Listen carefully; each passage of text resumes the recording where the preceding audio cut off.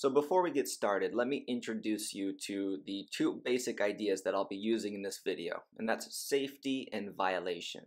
You can think of safety as the setup to a joke. It's the normal, serious part of a joke that meets our expectations. A violation is anything that you think is wrong, illogical, unusual, not okay, abnormal, etc. So it's anything that violates the way you think things should be. And in this video, you're going to see two different types of violations. There are violations that are big, fast, and specific, and those are going to be used to create punchlines.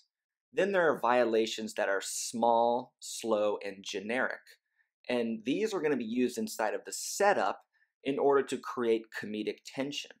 And the audience is going to respond by thinking, I like where this is going. And as we go into the video, I'll explain why this comedic tension is so important to the storytelling.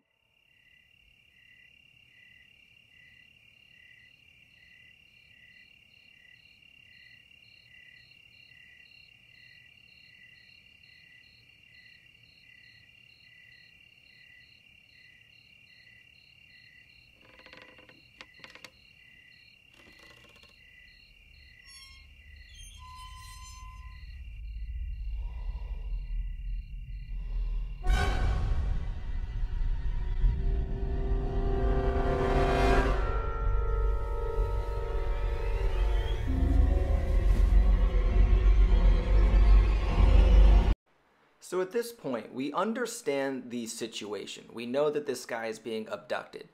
However, we still don't have a violation yet. None of our expectations have been broken. At this point in the film, we don't even know whether we're watching something that is serious or whether we're watching a comedy. So the first 30 seconds of this video has been very serious but it's very easy to pinpoint the moment where it shifts into something that is more playful. You'll see exactly when they insert the first violation.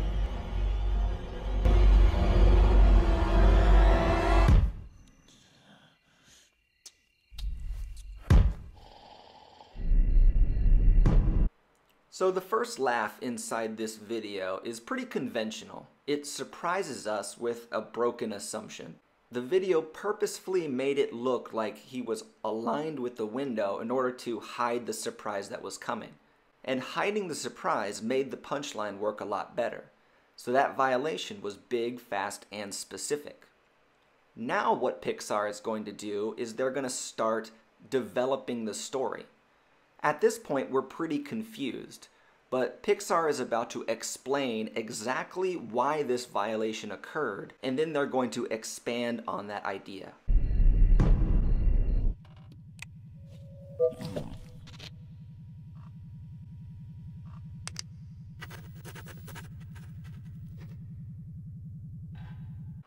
So notice how we have a second violation now, but this second violation is very different from the first one.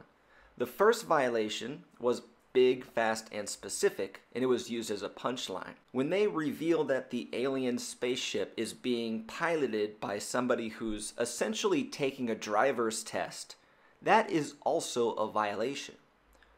While some people will laugh at the violation, most people are going to find it to be a little bit too slow and a little bit too generic to laugh at.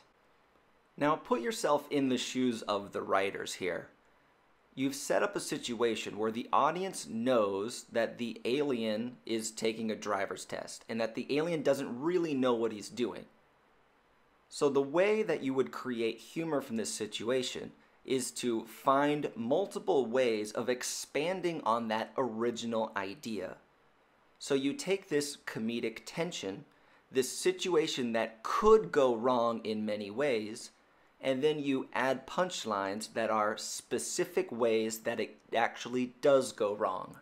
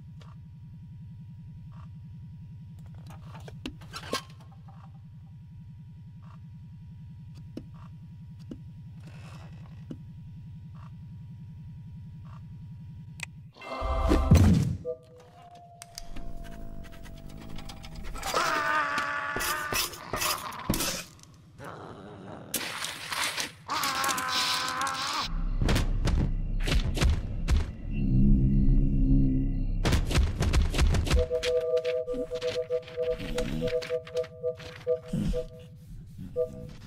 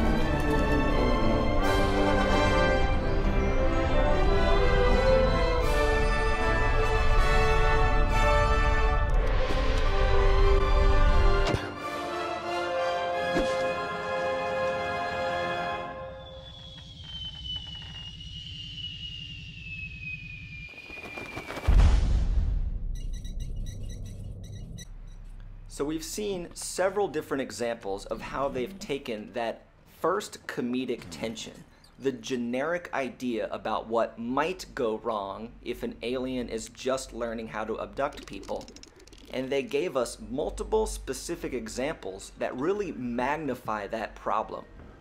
Now the video is going to shift back to being serious for a little while, and that's a way of wrapping up the video but also setting up one final big joke.